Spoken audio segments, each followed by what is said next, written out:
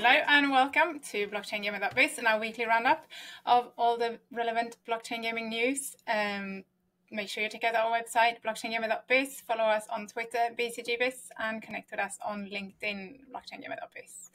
Today is Friday, the 6th of October, and I'm your host, Jenna Jordan, and with me is co-host Jon Jordan. Hello, John. How are you? Hello, how are you doing? Good, good. Rocking my Mojo Melee yes, cap yes, today. so- seeing Why- as it's the kickoff of Harvest of Doom. Harvest of Doom. Yes, Yeah. yes, we're looking forward to that. Six hours time. So, So we uh, got the that's the uh, new mojos, new quests, new champion. Rackmore. Pardon? It's season two now, isn't it? I can't remember if they had a season zero or season one, but anyway, so the third season, I think. Yeah. I, I am a little bit confused about this with seasons and stuff. Like, Yeah. you know, it was like season zero seems to be soft launch, but then Yeah. it's not always. And season one, that's the Yeah. proper launch of a game, but not always. so No, I don't know. We're into a new No, season. it definitely is Talking of season. yes. seasons, Axie Infinity actually this week launched their season six, I think. Yep. Isn't it? And with that, um, it's not just new rewards and, and you know new quests and so on, so on, new leaderboards, but they have launched launched what is effectively a battle pass for holders of Axies. Can you tell us a bit more about that? Because you've been looking into that, haven't you? Uh, yes, yes. So, as you say, yeah, season six for Axie. um, so, I mean, they've been. It's it's interesting actually because it's sort of you know every normally when you run a season you're sort of it's sort of so yeah some new characters and some sort of new reward structure and you know you don't really do a lot of fundamental changes to the game whereas you know I guess it's sort of actually sort of more than most blockchain games companies still sort of building building the airplane in flight or, or refining the airplane while in flight so that every time they do like a new season they do actually do some quite um sort of big changes to, to some of the stuff i mean in this case Hmm. Um they've done some onboarding changes so make it easier for um for new players. So they've done sort of a, a streamline of the tutorial and the onboarding. Um, it may not sound like very much. They've also changed the time to forty, is it forty-five seconds 45 now, seconds, yeah, yeah. which is you know for people who are really playing the game sort of might notice that as quite a sort of big change. I don't know. Um, but it's sort of interesting that they you know they really are sort of working hard on, on sort of finessing that. In terms of the sort of battle pass thing what they've done now is and this is again been a long-term trend is if you own a um, some of the rarer Axies so the rarest ones are called mythic um, mystics there's about a thousand of those. There's about 11 million Axies at the, moment, and there's a hard cap on these mystics. I think it's about I can't remember 1,048 or something. I can't remember. Um, so so they're the rarest ones, um, and then you have origin ones. There are about 4,000 of those, um, and then they have these various other ones. These Japanese ones, the Japanese sort of um, sort of Mm. parts, and so is it- uh, then there's ne- uh, one's called. I can't remember what they're called. Anyway, there's there's some sort of old ones that they from some, some special Axies that they did for, for you know for, from the early days, which don't really give you any um, sort of advantages in compared to you know in the battle. So with Axie, it's sort of about you know building your deck and having sort of good supporting Axies depending on you know what, what your sort of how you want to play the game. So even though Mystic Axies are still worth five thousand dollars, whatever, they don't give you any advantage in game because that's pay for win, pay to win, and people don't sort of like that. So they've always had this sort of tension, really, that they have these things that are very rare in terms of there's not many of them, but they don't really, they can't really give you advantage in games in terms of you know if you're just playing someone. So they're trying to think of ways of sort of giving, creating some, um, you know. Uh, non-gameplay advantage so so basically if you have some of these Axies now you you sort of have your own sort of a, a leaderboard. So so it's not it's not a leaderboard really, but it's so there's a leaderboard for every player. But it, but Axie players, if they get to certain levels, get extra rewards. Uh, Mystic holders or, or Origin holders or all that sort of stuff. So sort of like a secondary um, uh, sort of incentivization for, for, for players. So I, I'm not sure calling it a battle pass is, is what I would have done. Um, um, but I suppose in a sense they're thinking if you own one of these, it's like you've got your own premium sort of battle pass, which is just for you. I mean, and to, to be to be honest, you know, I don't know how easy it is for these holders to actually earn these rewards because you have to be in certain sort of sort of um, you know positions in the leaderboard over a, the whole What thing runs. call it? Like tiger, tiger something. you know, Yeah, it's like 49 days. So so you so I mean, I guess this goes back to they don't just want to be giving away loads of stuff to people who own these things. you know, which is everything. You know, everything in blockchain is sort of moving towards. You don't just passively get stuff for owning stuff because that, you know, potentially means you're a security. You know, security when the SEC sue people for, for selling securities. Yeah. A security means you mm. own something, you don't do anything, and you get paid money. Um, so with all these sort of things, what they're sort of doing now is all these blockchain games are going. You know, you can own these things, that's good, but then you have to show skill. And if you show skill, owning a rare, a rare thing will give you better rewards than not owning it. But it's not just like you know you sit there and you get an airdrop every month because then trying to encourage encourage yeah. more gameplay and sort of engagement in the ecosystem and yeah, yeah, the community.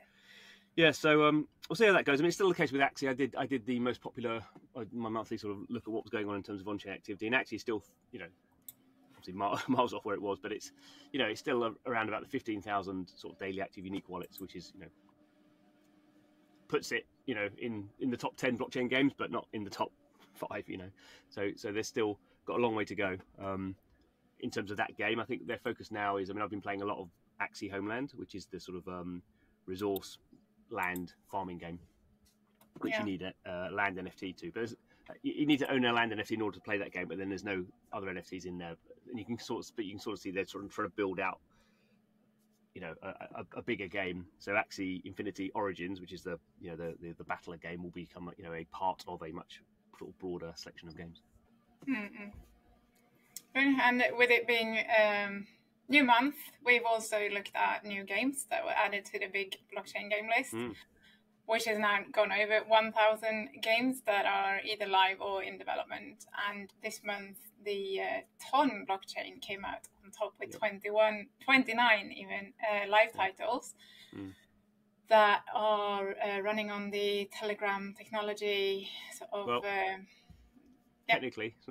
So, so I've been looking. I've been looking at this quite a lot actually um, over the last sort of couple of weeks. So, so um, yeah. So, so the I can't remember what it stands for. Uh, TON actually. TON is a uh, um, uh, what's it called? A you know a um, acronym.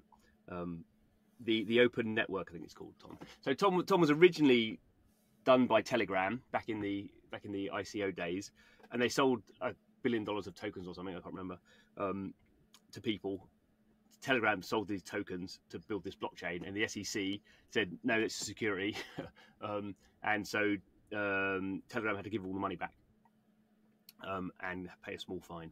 Um, but but uh, Telegram, being quite a sort of punchy company, they just said, well, we're going to open source it. So the impression I get is the people in Telegram who were working on Ton just basically left Telegram and basically did it as an open source project. Um, and now, now all the sort of um, and the token's been launched, you know, you know, uh, uh ages ago. Um, and, and but now they're sort of coming back and just integrating the Ton blockchain into Telegram, which is where where it would have ended up, you know, if the SEC hadn't have stepped in.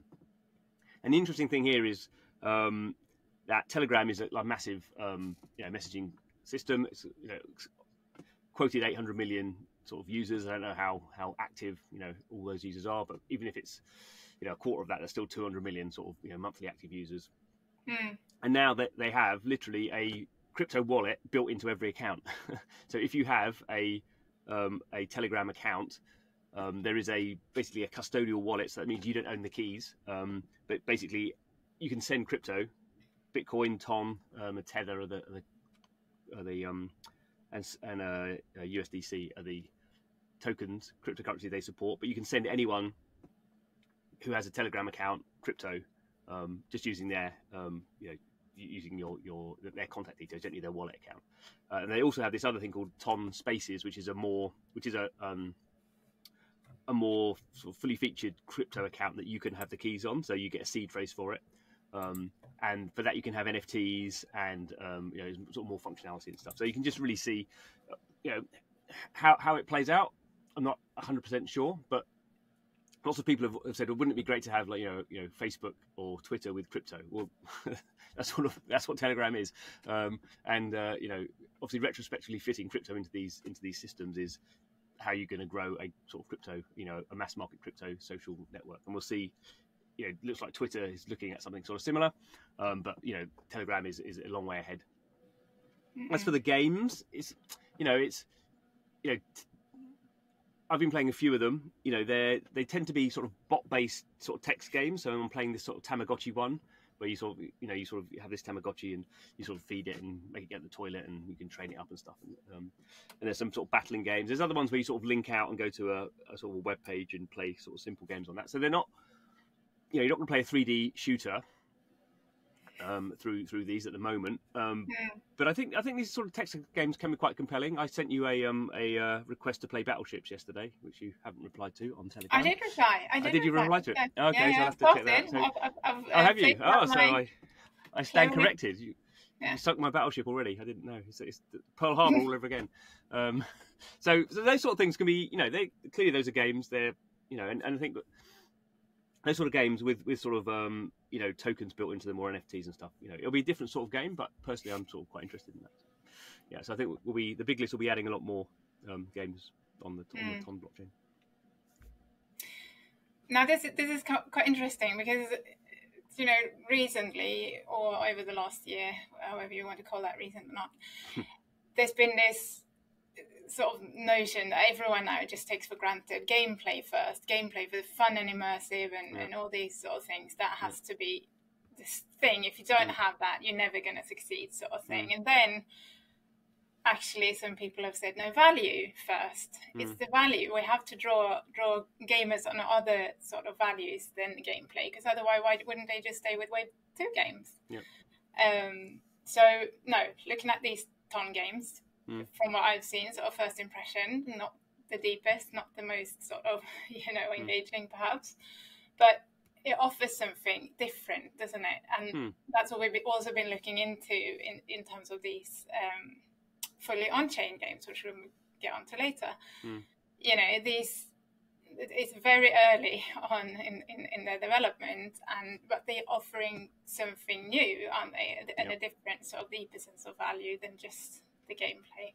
Mm. Uh, what's your take on that, Jon? Yeah, no, I mean, I think, I mean, every you know every game that's wants to use blockchain will sort of have a slightly different sort of formulation of how it wants to use blockchain. You know, everything from as you say the sort of fully on-chain games, which I think you know both me and you are sort of intellectually more interested in, um, uh, uh, but obviously a sort of uh, from a accessibility point of view are harder to get people into them. I mean, there's, there's loads of on-chain games we couldn't play because we're not sort of coding you know, um, in in uh, whatever you know whatever language it is that you sort of need to, to do.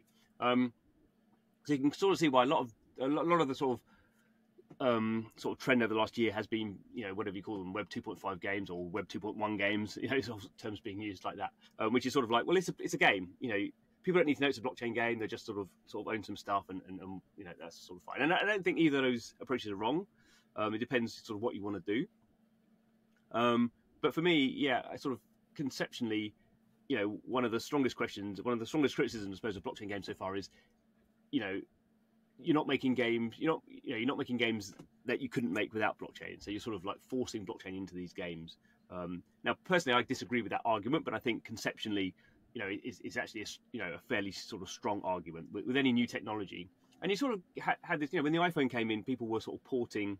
Um, you know, uh, 3DS games because they sort of, you know, oh, it's a little screen and it's on the go, portable sort of thing. But you know, mobile took off when a totally different sort of game came in that was free to play, sort of games where you, you know, they were sort of you.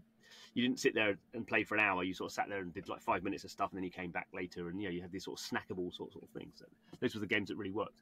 Um, and so I do sort of think, no matter what happens in the short term and medium term, in the long term, as the technology gets better and all these L2s and L3s or whatever, uh, these fast blockchains come in, you you you will sort of end up with, if you believe in blockchain, putting everything on the blockchain, because at that Mhm. point, you know that, that that's the point. That the, the you know that the stuff is you don't you don't have any server costs. You're running it all on the blockchain. Everything is there, so play so players can sort of swap it around. People can build. You know, there's a lot of talk about composability again.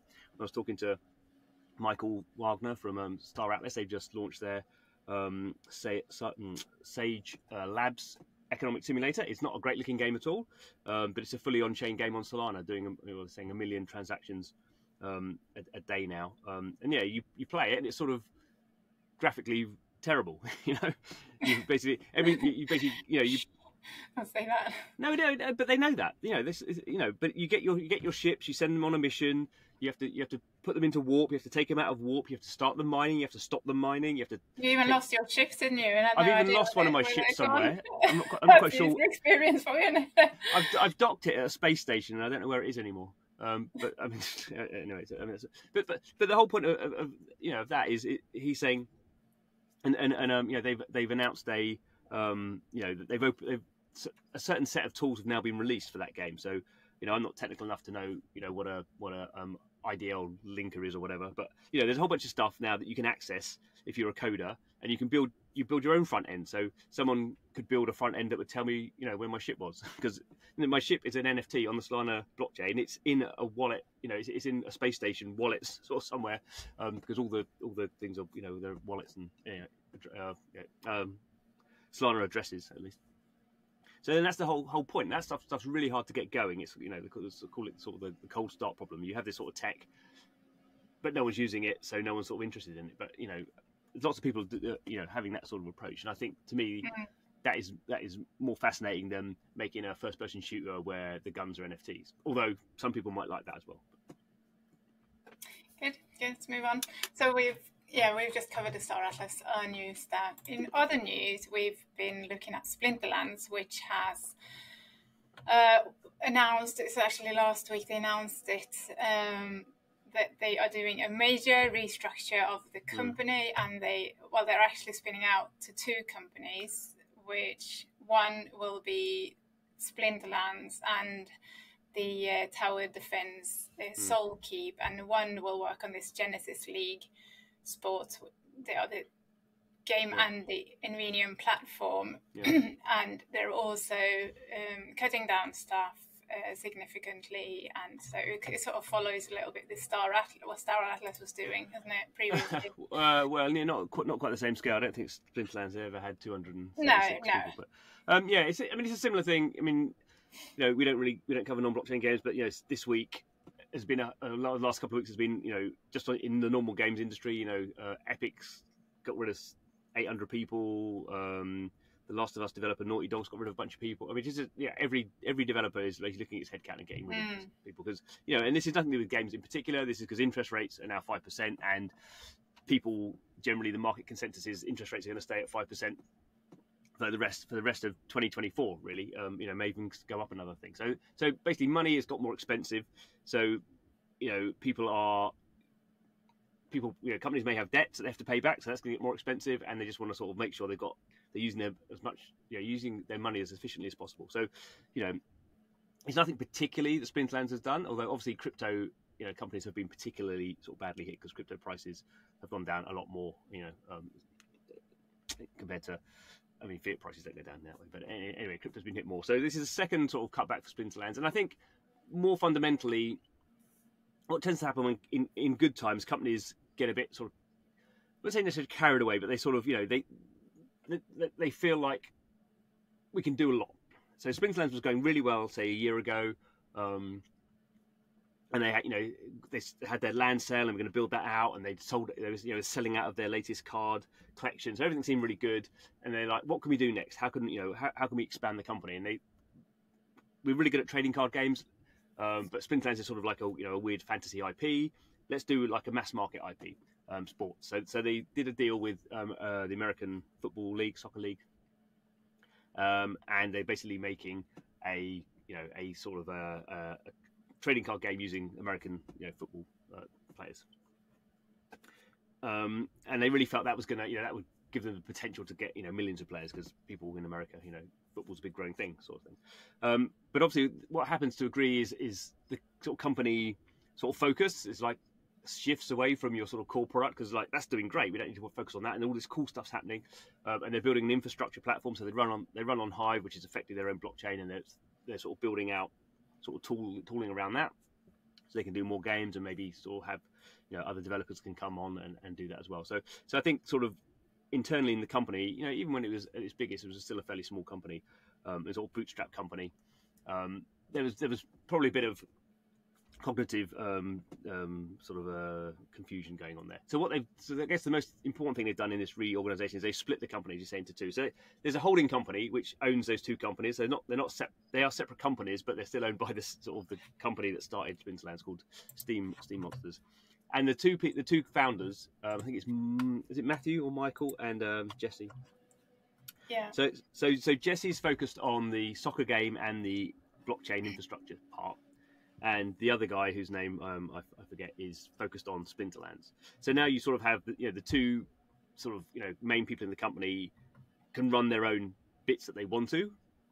Um, so Jesse's not going to tell going to get be involved in Splinterlands. You know, unless they ask him to be, obviously, um, and and he can just you know go off and run his, his, side of the business. And I think, you know, that that um, that'll be good for Splinterlands. They got a new card um, uh, sort of drop coming out, and they've been doing some sort of um, talking around how they're going to run that and how the sort of money is going to flow between them and the DAO for the for Splinterlands and how they sort of apologise for not uh, being on the ball in terms of I think it's mainly the land. So this land has been out for a couple of years and nothing's really happened.